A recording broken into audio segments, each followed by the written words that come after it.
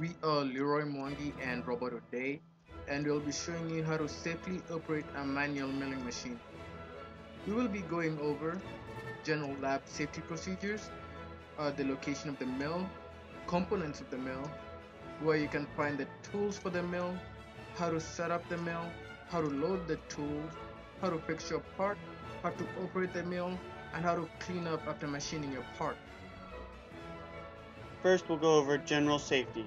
In order to work in any machining lab or facility, you will be required to wear your safety glasses or goggles, full-length pants, and closed-toed shoes, as you can see in the examples shown.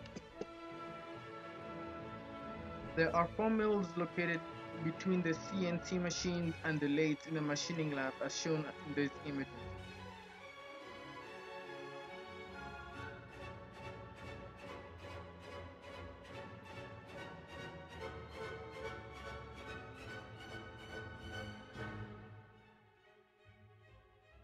Next, we'll go over the components of a mill.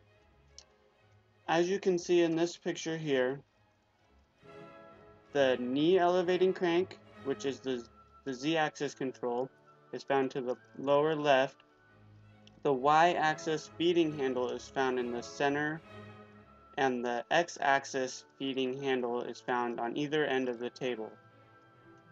The speed control is found on the top of the head, and then just below that is the downfeed lever. On the mills in our lab is a very similar layout.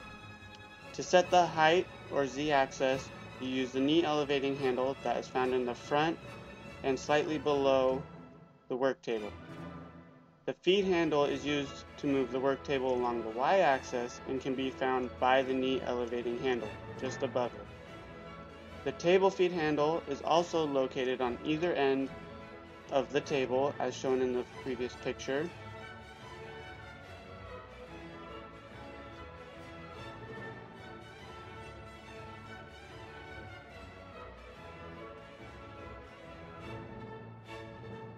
And the spindle speed controller, motor direction control are both located on the head of the mill.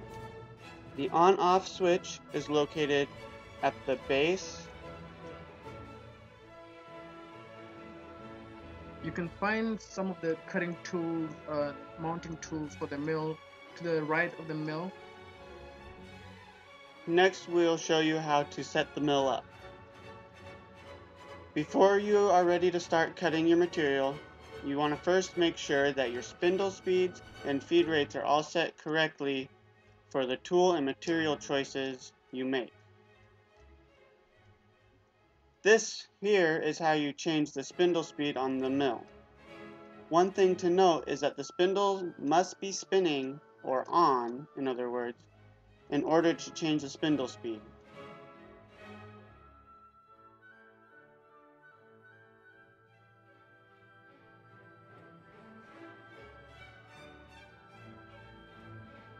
To load any tool into the mill, you must make sure that it is turned off take the tool take whatever tool that you have and put it underneath the collet. To the left of the mill is a small control box with three buttons one green and two red. Press the green button and the upper in button which is red and this will pull up the tool and lock it in place.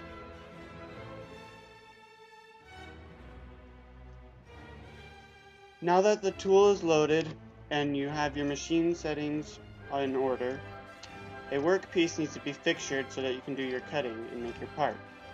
To do this, first open the vise which is found on the table and place your part in between the jaws.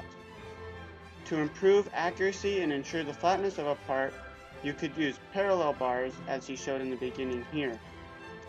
Do not over tighten your part to avoid damaging the surface or offsetting the part, especially if working with a material such as aluminum.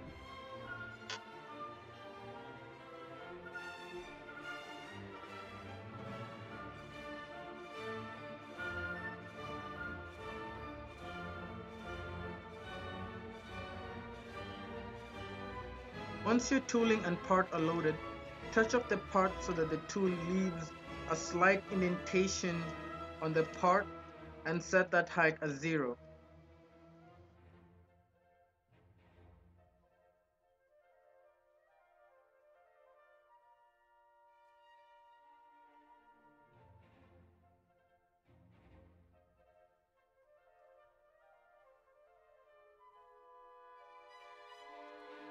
Move the part away from the tool using the knee elevating crank. Turn on the mill and raise your part to the to the described uh, depth of cut. Now raise the chip guard if your mill has one. If cutting, you can either manually feed the you can either manually feed the part or use the auto feed feature to perform your cut. If drilling, use the knee elevating handle to raise or lower the part into and away from the tool. Continue the process until the part is to spec. Clean off any burrs using the, bur uh, the deburring tool or a file and clean off the chips using a chip brush.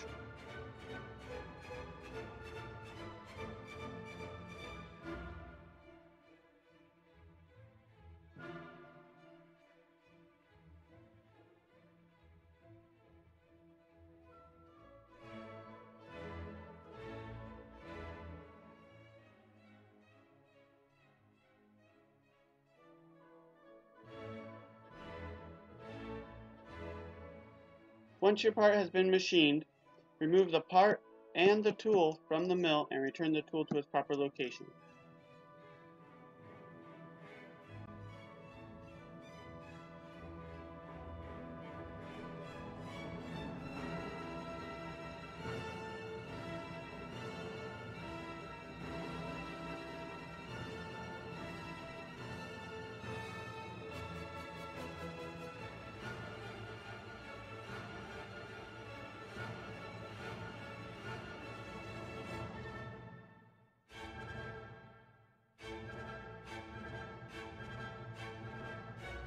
Remove the chips off the mill using a chip brush and then sweep off the chips off the floor and place them in an appropriate container, usually by moving them into a dustpan and putting them into a proper material container.